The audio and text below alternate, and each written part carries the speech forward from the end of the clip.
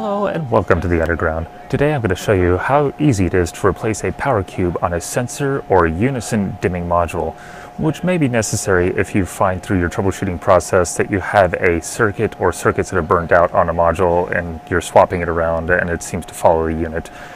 You don't really need to replace any of the components other than this power cube here, which we're going to be working on a D20. So as you can see, it is a Q141.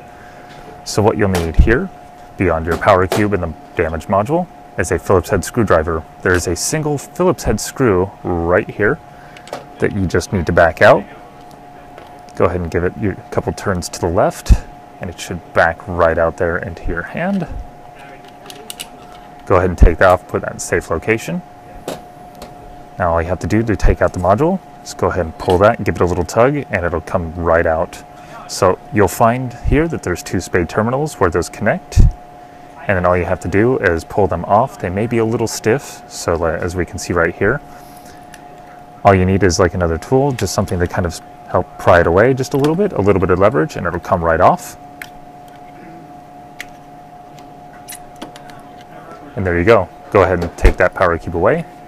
And now the process is easy. All you have to do is just kind of reverse what you're doing.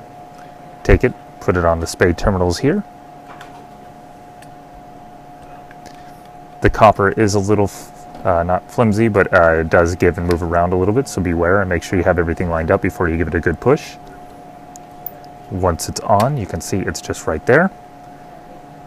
Just give it another quick test.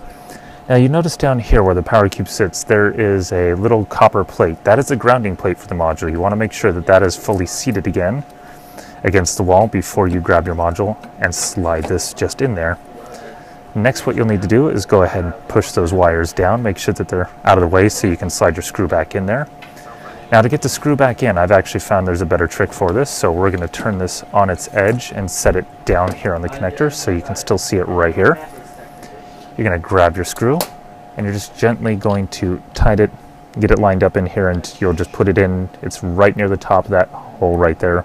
You can see it just kind of sets right in there. Now, I always do just a few finger turns here to get it started. And then you should be able to just take your screwdriver, get it in there. Sorry, I'm blocking your view. Give it a couple quick turns, and you are tightened.